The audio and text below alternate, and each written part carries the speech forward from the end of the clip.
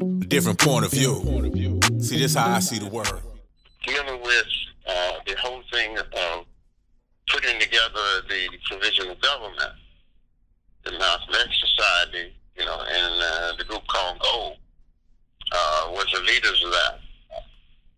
Our group at that time, out of Dayton, Ohio, was called Moise Mdugu, which means black brother.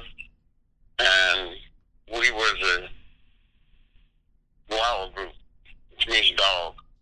And we anything that they said do.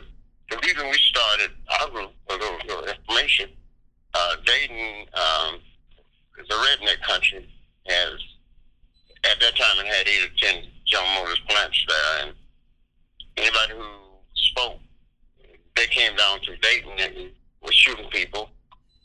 So we formed a legal police group. Well, it, it was a, a group that's dealing with, uh, you know, uh, being hard for different things like they have today. But back then, you had to be part of the police department in terms of traffic, and you had to shoot with them, you had to study that whole kind of thing.